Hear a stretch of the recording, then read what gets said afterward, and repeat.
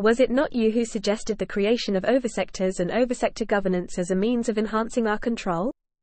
Emperor Palpatine, to Wilhuff Tarkin while the Empire utilized the senators of the Imperial Senate to maintain control of their respective systems, control was gradually given over to Imperial Sector and Planetary Governors, or Moffs.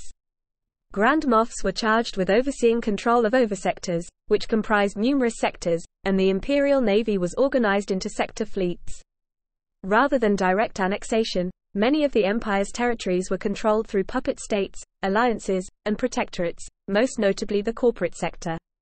The local governing bodies that were in the imperial senate, to which had autonomy were downgraded to a mostly ceremonial and powerless role, as were the senators they sent, who all served under a Moff's oversight.